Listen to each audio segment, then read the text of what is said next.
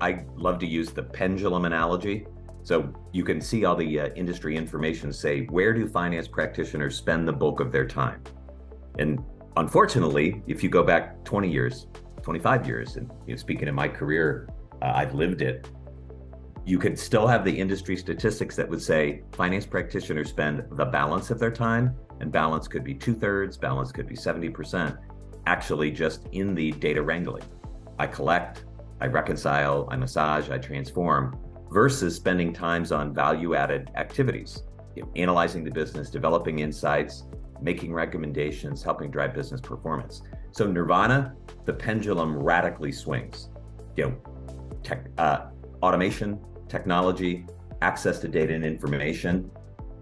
Practitioners can get the information that they need very, very rapidly without all the wrangling and all the work to do that, such that they spend the preponderance of their time on analysis, insights, and helping drive better decisions.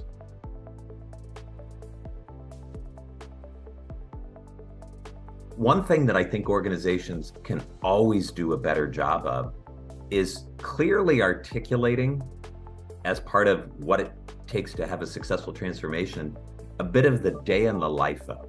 So the uh, what's in it for me, and that's what's in it for me at all levels of the organization. At the highest level, you know, the executives, they have to they have to justify the investments and the totality of the investments and go, how's that going to benefit the organization?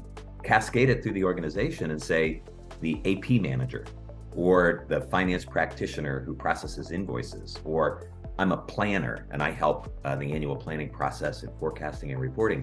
What's going to be different for me?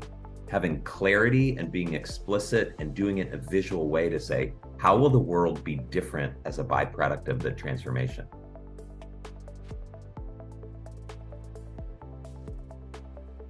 A great vision, tangible, as explicit as possible. You need to be able to measure progress against that vision. So, what? So when you're at some point in time and saying, "Were we successful or not?" you need to be able to have that criteria such that you can say, we've been successful and we've achieved the goals uh, clearly outlined in that vision. Those are a couple elements. Uh, a great vision needs to be socialized, uh, vetted, and bought in by the organization. So it can't be a person's vision or one group's vision. This is something that needs to manifest itself across the organization with the buy in, the alignment, the consensus, such that uh, the organization leans heavily into yes.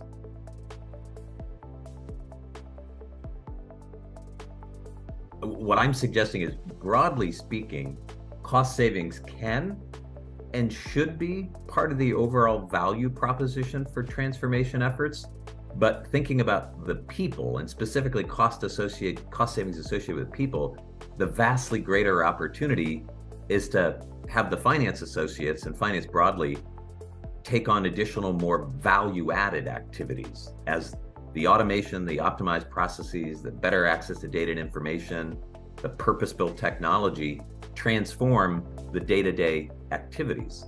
So the true value is how you're enabling better decision making. You're enabling better business partnering. You're elevating the financial aptitude of the entire organization as part of these transformative efforts. You're, you know, fa- whether faster cycle times, better decisions, the, the whole gamut.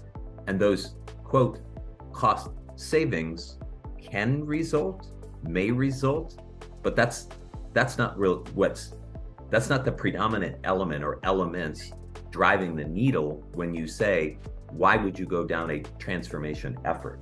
It's not about it's not about the cost savings per se. It's a little bit of the the mix when you do an ROI or a net present value or a business value or a, some some kind of element to uh, justify the investments you're making. But it's all the other improved decision making, improved business performance, improved resource allocation. All of those other elements is what really uh, moves the needle.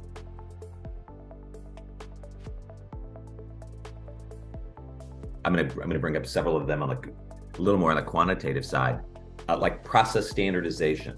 Um, a criteria or an element of the vision could be standardizing greater than X percent of business processes across segments and brands. Another one could be data integrity and efficiency. Eliminate X percent of manual data exchanges. Process optimization, reduce close cycle time to three days.